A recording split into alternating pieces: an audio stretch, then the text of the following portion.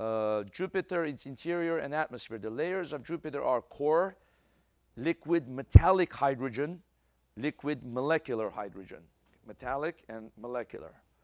Since Jupiter has such a strong mass and pressure, it squeezes the hydrogen into a liquid metallic state, which only exists at very high pressures. And the hydrogen becomes electrically conductive. That's why it's called metallic hydrogen.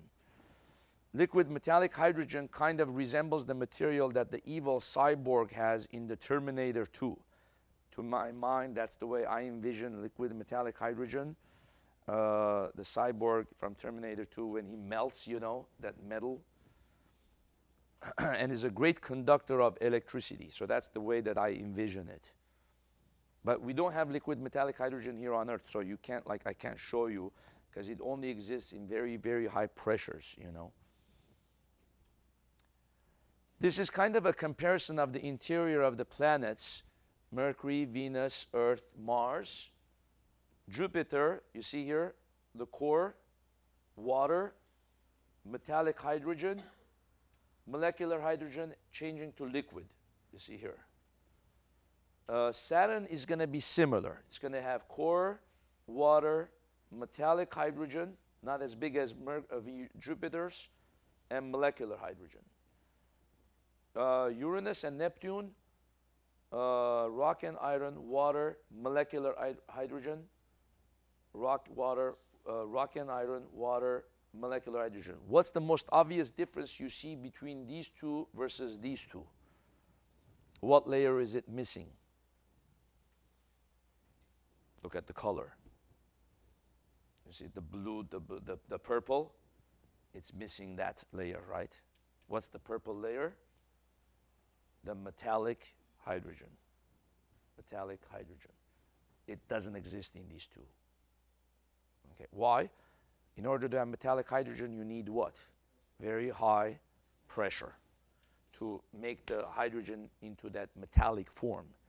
The pressure in here is not that high as those two, you see? So that's a the most obvious difference.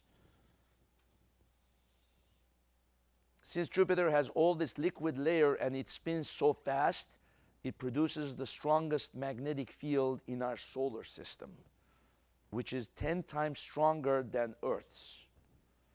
78% of Jupiter is hydrogen and the rest is helium.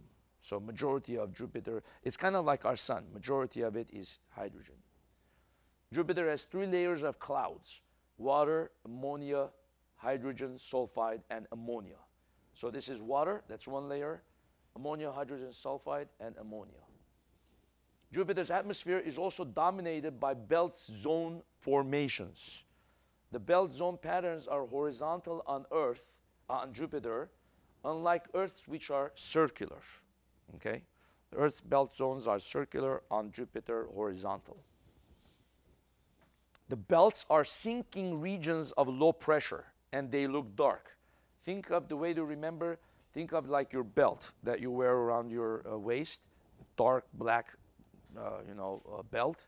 Belt is dark, and it's a sinking region of high pressure, uh, of low pressure. sinking region of low pressure, it's going down. Zones are rising regions, it's going up of high pressure. So the high pressure goes up, low pressure goes down. And the zones look bright.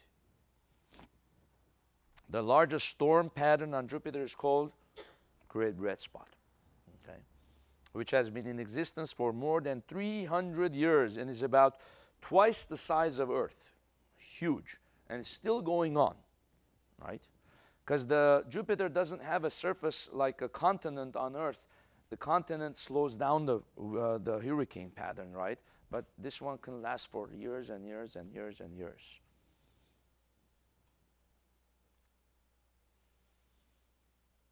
Its rings and satellites.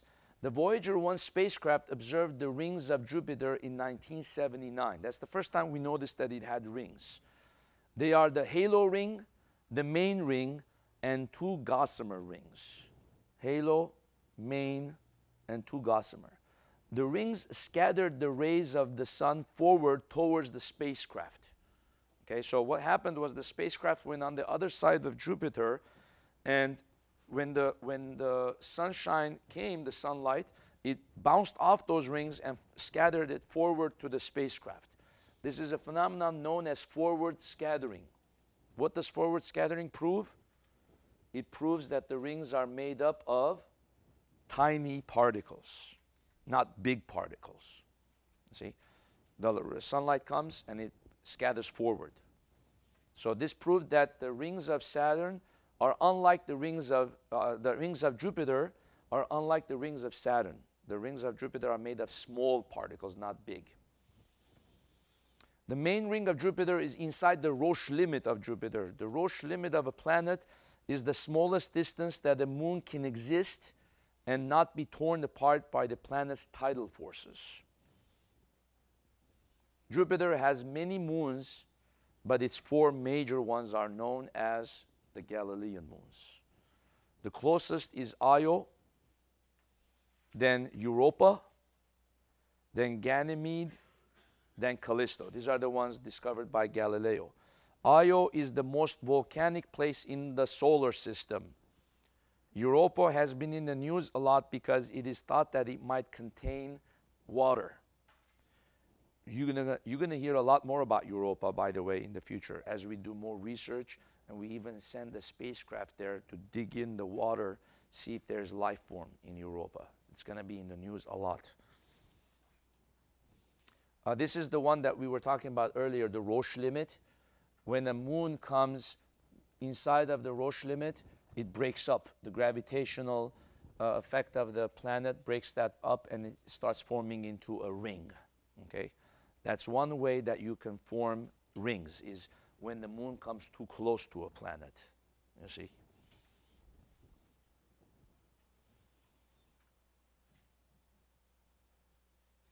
Europa seems to be an active world because it has a smooth crust lacking craters. Ganymede is the, uh, the third moon, the third Galilean moon, is the largest moon in the solar system. Okay? So make sure you remember those kinds of things largest, smallest, most active, which one has water in it. Okay? Callisto is the last of the Galilean moons and contains a 50 to 50 rock and ice mixture. Callisto is one of the most cratered worlds in our solar system. Okay? The densities of the moons decreases as one gets farther out from Jupiter. That means Io is the densest, then Europa, then uh, Ganymede, then Callisto.